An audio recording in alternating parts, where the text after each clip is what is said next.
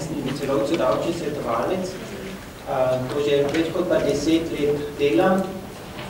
Čist na začetku moje delovanja sem začel v Ljubljani pri Grenzoanten in sem avstrijskim podjetnikom svetoval, kako kakšni davčni aspekti so v Sloveniji važni. Um, jaz sem uh, probal isto majhen pregled o važnih aspektih avstrijskega davčnega prava uh, razlagati. Um, prvo vprašanje je, katere storitve lahko čezmeno uh, opravite isto lahko vsa gospodarska dejavnosti delate čez, me, čez mejo, samo uh, naprimer zdravniki, uh, davčni svetovalci, banke, zarovalnice morajo imeti v Avstriji uh, sedež in zaradi tega oni ne morejo delovati preko meje. Ostale uh, poklice, ostale podjetja lahko delajo čez mejo. Važni aspekti mora tudi varnostniki ne smejo delati preko meje, ker rabijo v Avstriji sedež.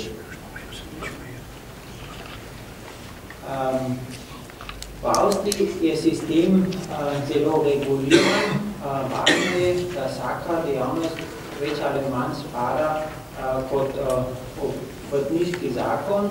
To pomeni, če izvajate posle, v bistvu rabite vedno obrtno dovoljenje, samo novejši uh, poklici ne rabijo uh, obrtniško dovoljenje, to je naprimer uh, podjetniško svetovanje, naprimer svetovanje za, za PC, take storite inženiring deloma, ampak ne inženiring za gradbeništvo to so v bistvu klasični poklici uh, in v tem primeru rabite vedno obrtni list. Um, kolegica Škof je že v bistvu razlagala um, in to v bistvu ne boš bolj natančne omenil. Če, po, če se odločite, uh, da boste v Avstriji delovali, je važno, v kakšnem obsegu boste delovali. Ali boste samo redko kdaj delali čez mejo ali boste v bistvu uh, ustanovili uh, podjetje, uh, rimsko podjetje ali naprimer um, podružnico. Um, davčna uprava v Avstriji ima zelo stroge predpise, um, kdaj je treba obdavčiti um, v Avstriji, da je treba prijaviti uh, promet za DDV namene. V bistvu lahko od tega izhajate, vse dela več, več kot pa 180 dni v Avstriji dela, mora on plačati v Avstriji uh, davek na dohodnino za to delo. Če, um, če manj kot pa 180 dni dela, potem mu ni, niste zavezani, da mu odbijete davek na dohodnino in mu lahko uh, izplačate uh, v bistvu uh, bruto uh, vsoto in davk uh, morate obdavčiti v Sloveniji. Če imate salon, to pomeni, da imate stalno uh, enoto uh, ali imate skladišče, uh, iz katerega uh, podajate uh, robo, To pomeni, da ste v bistvu v Avstriji zavedani, da, da se evidentirate pri davčni upravi. To pomeni, da delež, katerega v Avstriji ustvarjate, dobiček morate po avstrijskih pravilih obdavčiti.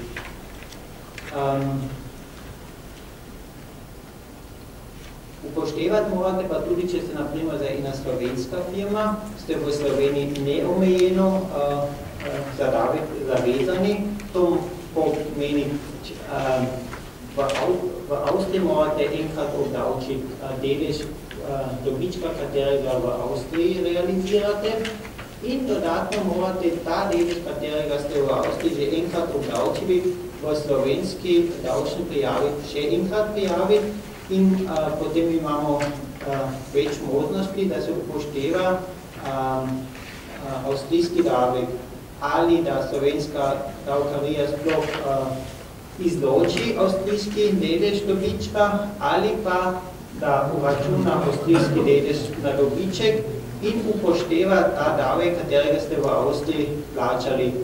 Uh, ob koncu to pomeni, da je treba samo enkrat obdavčiti dobiček, vprašanje je samo kje in po katerih predpisih. V Avstriji se obdavči dobiček po avstrijskih predpisih in v Sloveniji po slovenskih predpisih in to ni čisto enaka stvar. Um, um, Če, če je potem potrebno, da se v Avstriji registrirate, imamo a, a, a, davčno pravo Kratštat za a, omejeno obdavčitev. To pomeni, bi morali ta zorec, a, katerega sem dal na stran, a, piše FERF 19. A, to je treba prijaviti, je treba tudi a, tak posebne osebno izkaznico od poslovodja ali SP-ja zraven in če ste registrirani DOO, potem je treba tudi dodati a, sodni a, izvleček, prevejen a, in to na urad dati.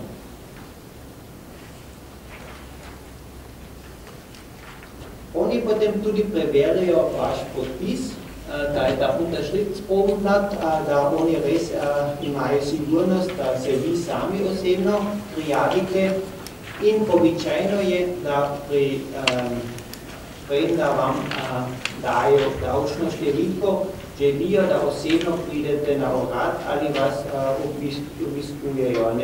To je po nam čisto običajno, to je pa leže tako, čim da nekdo želi avstrijsko davčno številko, za DDV namene ali za dohodnino davčna uprava uh, želi ga videti. Uh, ob koncu, če so vam izdali davčno številko, uh, imate lahko tudi pravico, da vam izdajo potrdilo, da ste v Avstriji registriran kot podjetnik. To je ta Nachweis über die Erfassung als Unternehmer. To večkrat rabite uh, pri, pri firmah, Giovanni Elio Preveric astevi språk registrerani chiavo auste so podjetja v gradbeništvu zavezani, če vzame kooperanta preveriti, a je ta firma sploh registrirana, ali ima obrtno dovoljenje po avstrijskih pravilih,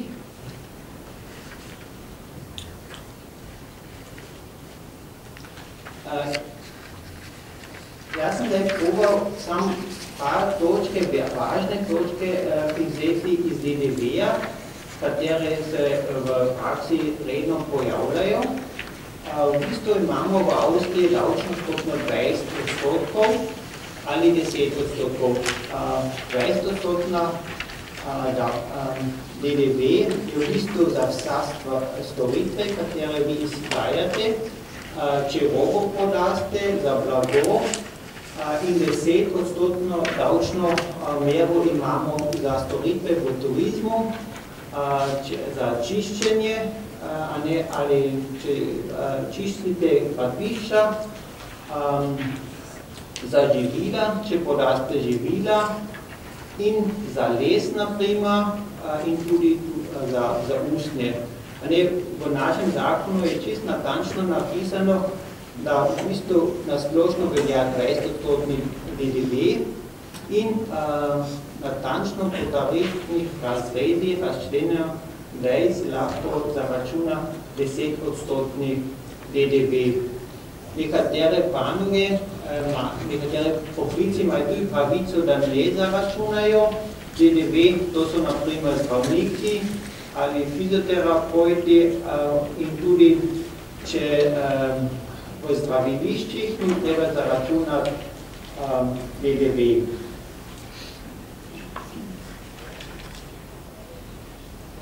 Tako kot pa v Sloveniji imamo mi tudi sistematiko malega podjetnika Mali podjetnik se po nam šteje um, podjetnik, kateri v letu ne uh, presega promet 30 tisoč evrov. To pomeni, da ta podjetnik ni zavezan, da se registrira pri davčni upravi, on lahko izstavi račune, brez da zaračuna DDV in ima, nima pravico, da odbije podnega prometnega davka. A ne, on v bistvu živi v svetu, ko ne obstaja DDV. To ne velja za podjetnike, katere delujejo preko meje. V tem primeru uh, je treba vedno zaračunati DDV od prvega evra naprej prometa in je obvezno, da se registrirate v Avstriji davčni upravi. Tudi v primeru, če bi bili, bi bili v Sloveniji mali podjetnik, ne? če ste v Sloveniji mali podjetnik, uh, imate majhen posel v Avstriji, niste po naših zakonih mali podjetnik v Avstriji.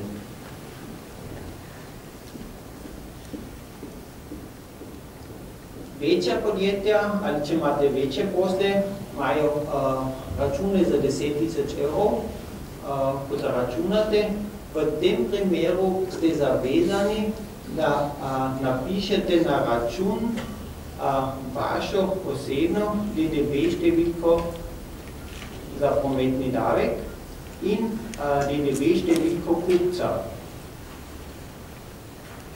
Kupec bo to vedno zahteval, ker on drugač zgubi pravico, da odbije ta prometni davek. Če dobite avans, potem običajno uh, stranke tudi zahtevajo, da zapišete DDV in v tem primeru bi morali ta DDV v istem mesecu uh, javiti na davčno upravo in plačati tudi v roku 45 dneh. V Avstriji imamo sistem, da morate ali četrtletno ali mesečno prijaviti DDV, če ste zavezani za DDV, in ob koncu leta morate v roku najmanj, največ 15 mesecev še odatni letno prijavo. Če ste, na primer, naredili eno napako, pri zaračunanju ali ste se zmotili pri, pri knjiženju, potem imate možnost, da se naknadno se eh, davčne osnove drugače prijavijo kot pa v mesečnih prijavah. To mi v Sloveniji na ta način ne obstaja. In ena uh, posebnost je tudi še, da v bistvu privatniki v Avstriji uh, zakonsko nimajo pravico, da, uh, da da mu izdate račun. Samo podjetniki imajo pravico, da od podjetnika, kateri eh, naredi eh, dejavnosti ali nekaj proda, da mu eh, izstavi račun. To je zakonsko tako uh, rešeno in v bistvu privatniki nimajo pravico, da dobijo od podjetnika uh, račune.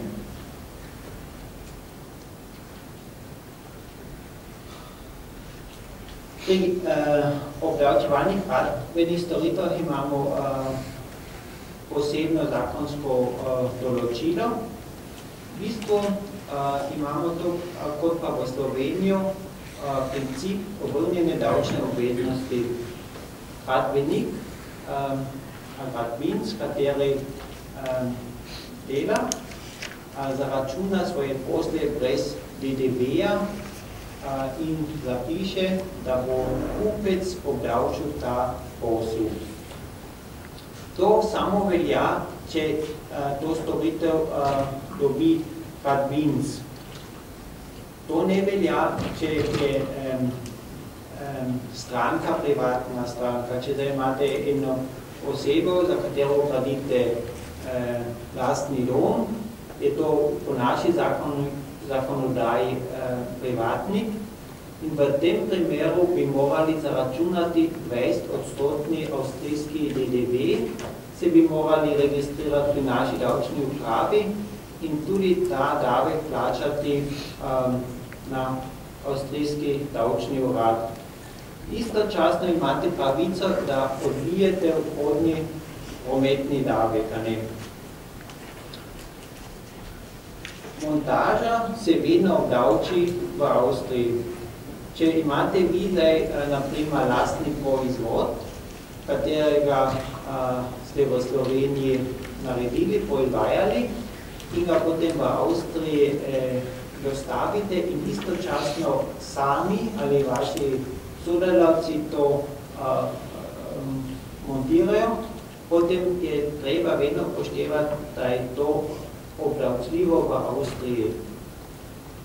To mi v bistvu ne razlikujemo uh, na eni strani, da ste podali robo in montažo, temveč po nasi zakonodaji je to en postopek, to je ena storitev in ker je to po naši zakonodaji uh, storitev, je, uh, se obdavči pri vincih tam, kje leži uh, um, zemljišče, tam, kje je stanovanje, tam, kje je objekt, katerega gradite. Um, to je treba seveda tudi um, v davčnih prijavih uh, tako uh, izkazati.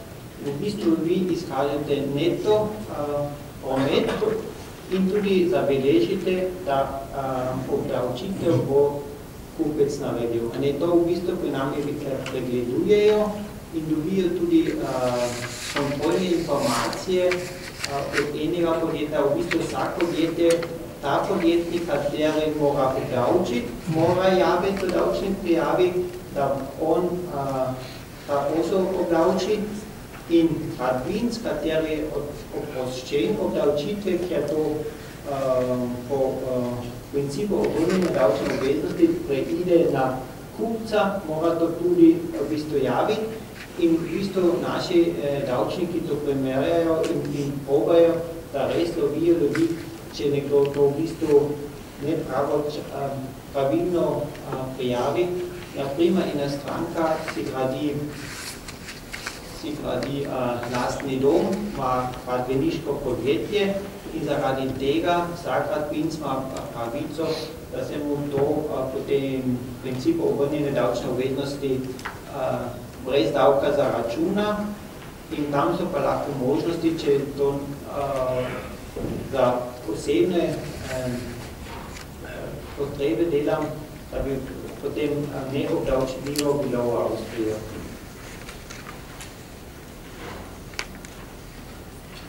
Um, Ena zelo važna stvar je mora tudi še registracija HEU. To pomeni, od uh, letošnjega leta naprej imamo dejstvo, da kupci imajo pravico, da uh, zadržijo 25 odstotkov odplačila za socialne prispevke, 20 uh, odstotkov za socialne prispevke in 5 odstotkov za davek na dohodnino delavce. Če avstrijska firma ali ne avstrijska firma v bistvu ne plačuje socialne prispevke uh, in ni zapisana v tem registru, potem uh, stranke redno gledajo, ali je zapisana firma ali ni zapisana. In če ni zapisana, potem lahko od tega izhajate, da vam ne bojo izplačali ta denar. Oni bojo ta denar plačali na socialno zavarovalnico in socialna zavarovalnica potrebuje potem DDV številko kadvinca, da potem na davčni račun ali na račun Martinca pri socialni zavarovalnici to prenakažejo.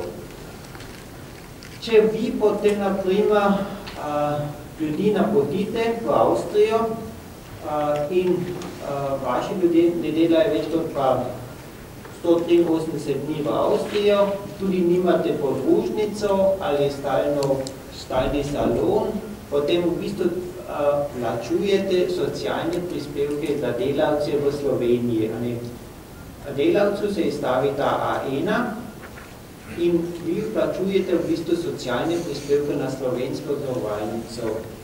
V tem primeru nikoli niste zavezani, da plačujete socialne prispevke na avstrijsko socialno zavarovalnico.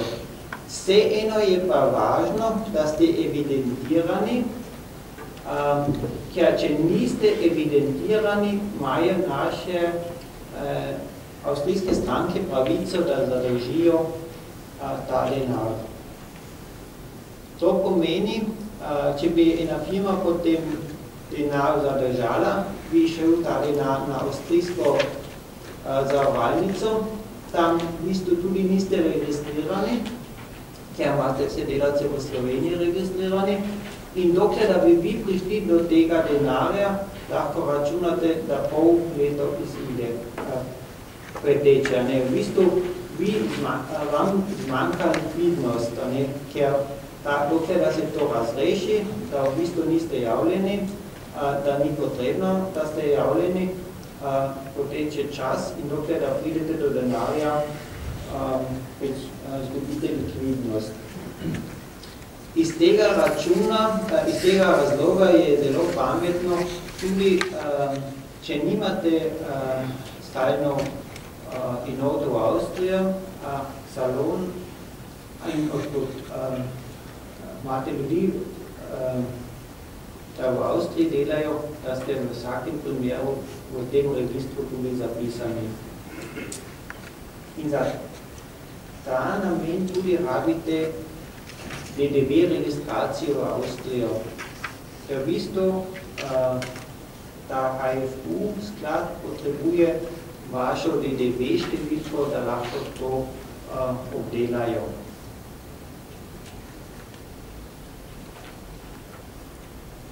Stroški s tem niso povezani. Ne? Čim da ste vi uh, registrirani, to je v bistvu ta vzorec, ko vam prvič treba izpolniti, pa pošljete na urad. Oni zahtevajo seveda sodni izpisek iz registra preverjenega ali obrtni list, da vejo, da obstajate in tudi osebno izkaznico. In to v bistvu uh, uh, redno potem naše podjetja gledajo, a ste zapisali ali ne. Deloma ne dobiste eh, posle, če niste zapisani, ker naše večje patvene firme to zahtevajo, da ste zapisani. Urat Fonds um, je blagajna kadvince za dopust in odpravnino. V bistvu za slovenska podjetja je samo uh, del dopusta važen. V Avstriji imamo 14 plač. 12 srednjih plač, a ne vsak mesec, in potem še eno plačo za dopust in eno uh, plačo za božič. Ne. To v bistvu je isto kot regres v Sloveniji, samo da je po kolektivnih uh, pogodbah običajno, da vsak delavec dobi uh, dodatno božičnico in uh, denar za dopust. Denar za dopust pa ne smete um, um,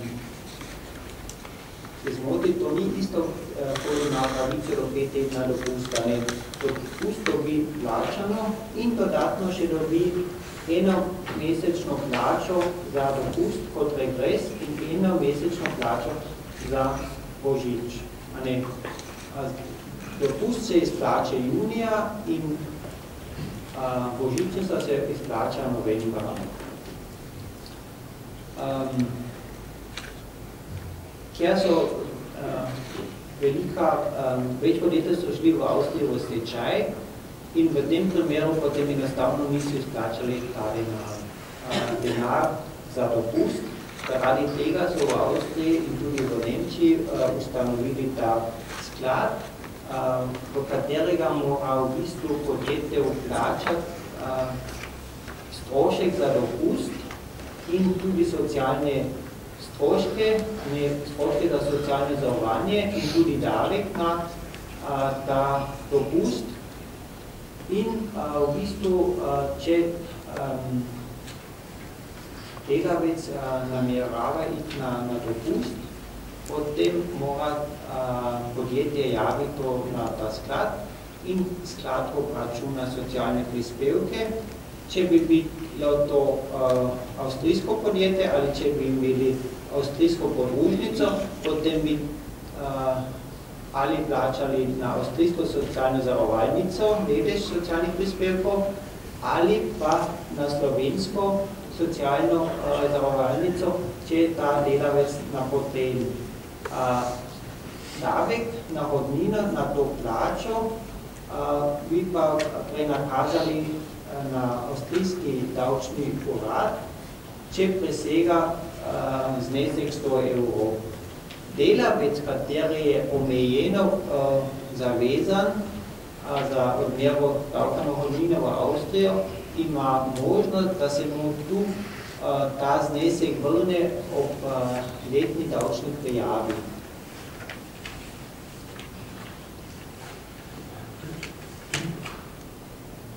Ta duakon je v bistvu obvezno za vse dejanja padilcev v naši klasifikaciji. V bistvu um, od, um, od arhitekta do končnega stroja se dela dela, katere delajo delavci, so v bistvu zavezani, da se to, um, ta sklad plačuje. To je zelo obširno in to je zelo važno za vas, ker vi morate um, pri vaši kalkulaciji uh, upoštevati, da dopust plačate v ta sklad in ne delavcu direktno. Ne, delavcu potem ni treba dodatno še plačati ta dopust. Um, ta Buchfond, um, če ste enkrat registrirani, seveda uh, da informacije naprej na davčno upravo, tudi na KIA in uh, na socialno zavarovalnico in oni potem seveda tudi preverijo, a je ta firma v bistvu uh, po zakonskih predpisih registrirana pri davčni upravi ali ni in a so tudi delavci registrirani. Registracija A1 je tudi važno, če delavci delajo na gradbišču, je vsak delavec zavezan, da ima ta A1 sabo. A1 je zato važen, ker če davčna inšpekcija gre na gradbišče in finančna policija, oni zahtevajo, da ima delavec to sabo, to bi bil kazenski postopek in dobiste globo, če nima sabo. Če, um, Važno je potem tudi za gradbince, da so uh, delavci šolani, uh, glede na varnostna določila v Avstriji, to je obvedno v Avstriji, vsak delavec mora v bistvu avstrijske eh, varnostne predpise poznati. Eh, to imate sigurno tudi v Sloveniji, da imate tablico, ki so vse eh, te varnostna določila zapisana in vi morate v bistvu tudi imeti uh, potrjeno od vašega sodelavca, da on to razume. In če pride potem inšpekcija in seveda vprašuje, a to razumeš in če ne razume, če samo slovensko govorijo, imate v bistvu tudi majhne težave, ker, ker oni to želijo v, v primeru nezvore, da bi potem vedeli, kje so zdravniki, to in one. To je naprimer zdaj vzorec za prijavo prikuvak. Najprej se mora v bistvu firma javiti, to so podatki za firmo, a, in potem dodatno za a, delavca prijava je dvostopna, v bistvu v prvem koraku registrirate podjetje in v drugem um, um, postopku um, javite delavca za vsako gradbišče. Ne? Um, če imate ved gradbišč, potem morate upoštevati, da po, po gradbiščih morate to javiti. To je potem vzorec, s katerim lahko uh, vi uh, javite te UAC skladu koliko prispevkov morate vplačati za sodelavca. V bistvu, vi ste sami zavezani, da izračunate, koliko prispevkov morate vplačati. To vam oni ne predpišejo, predpisujejo, temveč vi morate v bistvu uh, mesečno to javiti, uh, koliko dni je delal in uh, po kakšni kolektivni pogodbi ste jo plačali. In uh, zadnji vzorec je pa, če potem namerava sodelavec ta, ta dopust konzumirati, da vi to pišete na to, ta sklad in ta sklad potem direktno po odmeri socialnih prispevkov in po odmeri davka na dohodnino izplača neto plačo delavcu. Iz tega razloga lahko tudi date bančni račun sodelavcem, to morate javiti. Ne. To je tudi lahko redki primer, ko lahko neavstrijski račun uporabite. Lahko delavec ima lahko bančni račun v Sloveniji, drugač to v bistvu ni običajno. Da to možno.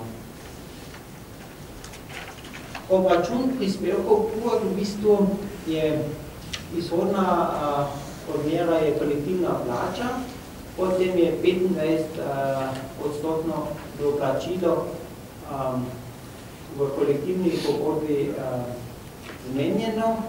In potem odvisi, ali delavec dela 40 ur, 39 ur ali 8, uh, 30 pa pol ur na teden, uh, to vodi do, do, do faktorja 11,85 ali 11,4 in deleno skozi 5 je v bistvu ta znesek, katerega morate, morate vi v bistvu plačati na ta sklad.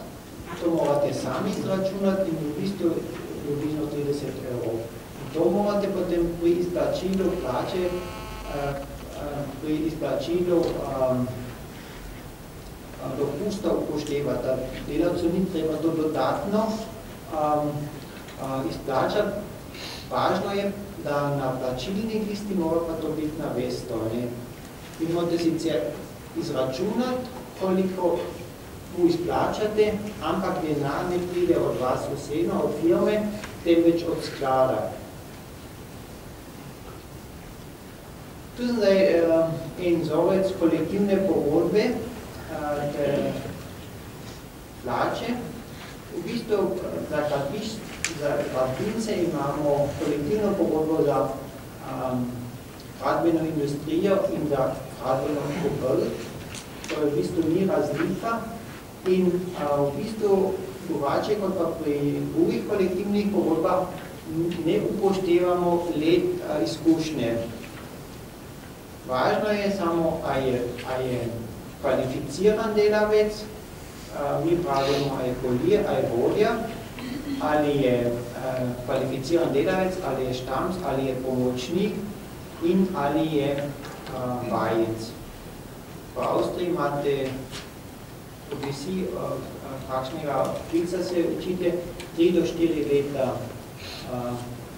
vajenske dobe, in plača za vajence je bolj nizka. Ne? To se vidi, 813 je bruto plača za vajenca in za, za pomočnika, uh, kvalificiranega pomočnika je pa 1557. Ne? Praksa pravi, da če to za 1,5 uh, multiplicirate, je v bistvu to vaš strošek. Ne, če nam prima 1500, pa 1,5, to je potem vas mesečni strošek po avstrijskih predpisih. Um, delavci delajo po kolektivni pogodbi 169,5 ur in vsako uro, ko, ko dela več, ima pravico do, uh, do dodatnega plačila je natura. Če več kot pa 120 km od doma dela, od a, podjetja, potem ima še dodatno pravico do a, dnevnice če pa um, više več, več mest traja, potem nima več pravice do uh, dnevnice. In to morate upoštevati. To je važno v bistvu za odmero socialnih prispevkov, ker dnevnice, uh, dnevnice v Avstriji ne plačate socialne prispevke, če je to v kolektivni pogodbi to a, tako a, urejeno. Če dobi delavec denar, a, pa nima pravice do, a, do dnevnice, to je v bistvu navadna plača in v tem primeru bi morali vi naknadno pri inšpekciji plačati socialne prispevke in tudi davek na dohodnino. Um,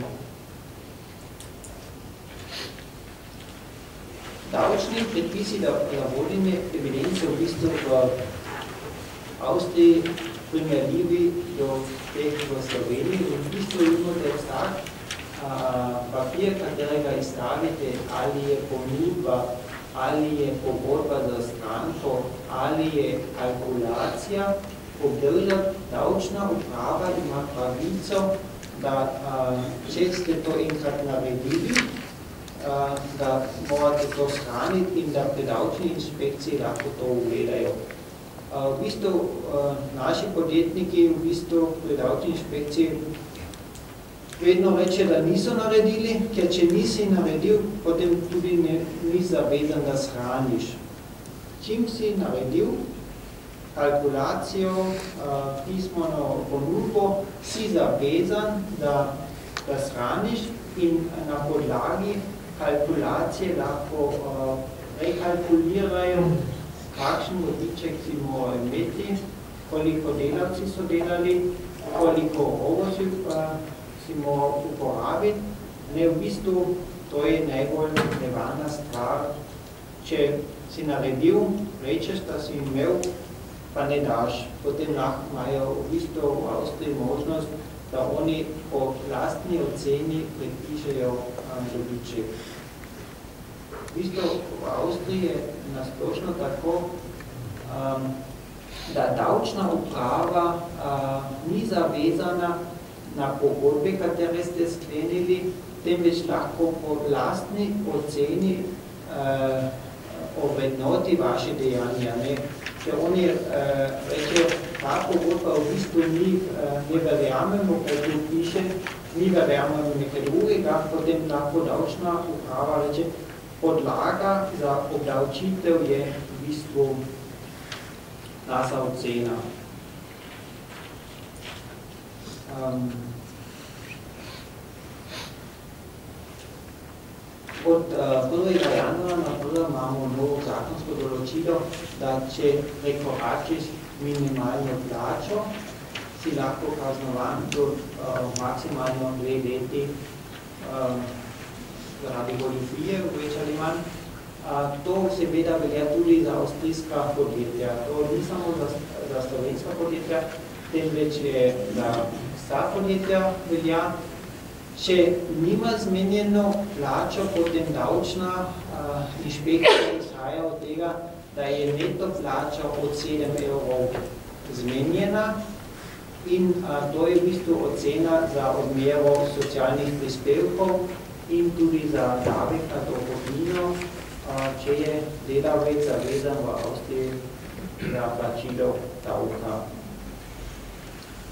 Na poditvi ima slovenska socialna zavarovalnica pravico do prispevkov um, in to napotitev lahko podaljšujete uh, več let, ne maksimalno pet let.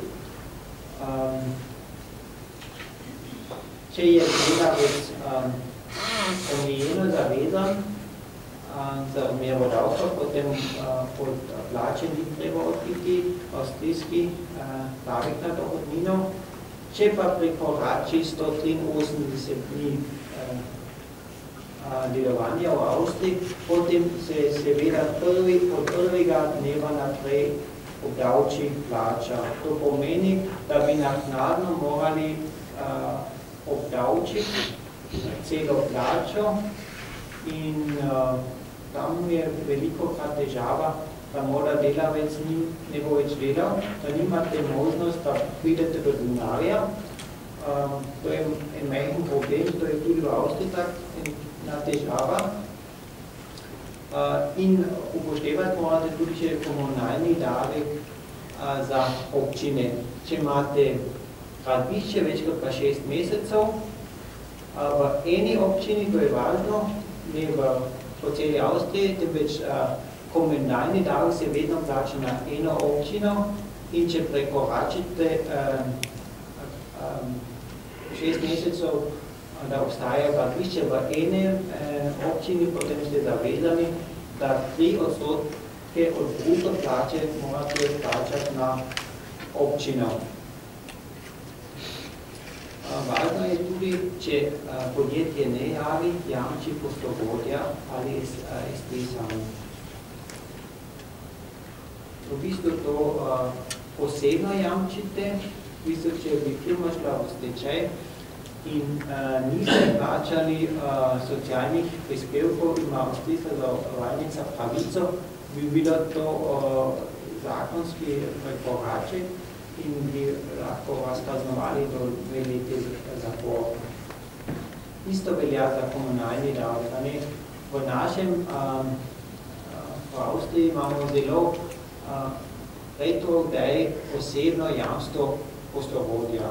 Sploh pri DOO, isto nikoli ne jamčiš razen pri socialnih prispevkih, če bi naša država imela pravico in pri komunalnem davku in podjetje ni javilo in če potem v stečaj, ali ni možno, da pride država ali socialna zavarnica do tega denarja, potem je v bistvu to kazenski postopek.